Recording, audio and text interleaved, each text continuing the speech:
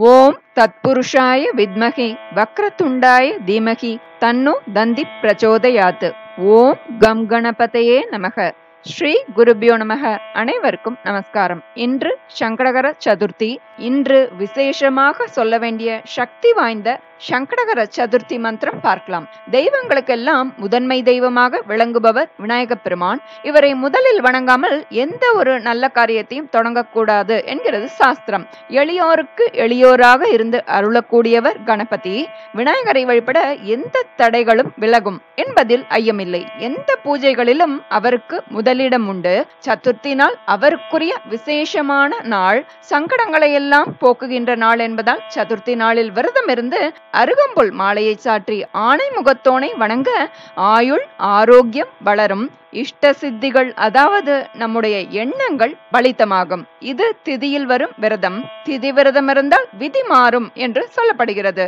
அதனால் இந்த சங்கடகர சதுர்த்தி தினத்தில் விரதம் இருந்து இந்த ஒரு வரி மந்திரத்தை இருபத்தோரு முறை சொல்ல நீங்கள் நினைத்த காரியங்கள் அனைத்தும் நிறைவேறும். நீங்கள் மேற்கொள்ளும் முயற்சிகளில் தடை தாமதங்கள் ஏற்படாது. திருமணமாகாதவர்களுக்கு திருமணம் நடக்கும். புத்திரனை விரும்புபவர்கள் புத்திரப்பேறு பெறுவார்கள். ஐஸ்வர்யத்தை விரும்புபவர்கள். மேத்தா சக்தியை பெறுவார்கள். ரோகத்திலிருந்து விடுபட விரும்புபவர்கள் ஆரோக்கியத்தை அடைவார்கள் அப்படின்னு ஸ்கந்த புராணமும் விநாயக புராணமும் சொல்றது. நம்ம சங்கரகர சதுர்த்தி தினத்தில் சொல்ல வேண்டிய மந்திரத்தை பார்க்கலாம். ஓம் நமோ ஹேரம்ப மத மோதித மம சங்கடம் நிவாரய நிவாரய. ஓம் நமோ ஹேரம்ப மத மோதித மம சங்கடம் நிவாரய நிவாரய. ॐ नमो हेरम्बमदमोदितमम मदमोदित शङ्कटं निवारय निवारय। ॐ नमो हेरम्बमदमोदितमम मदमोदित शङ्कटं निवारय निवारय।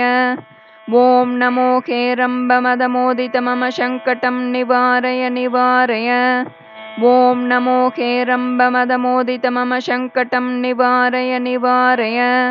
ॐ नमो हेरम्बमदमोदितमम मदमोदित शङ्कटं निवारय निवारय।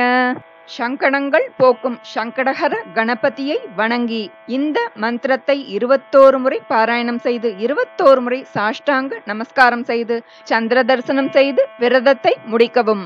இவ்வாறு செய்ய சங்கடங்கள் நீங்கி நினைத்த காரியங்கள் அனைத்தும் நிறைவேறும்.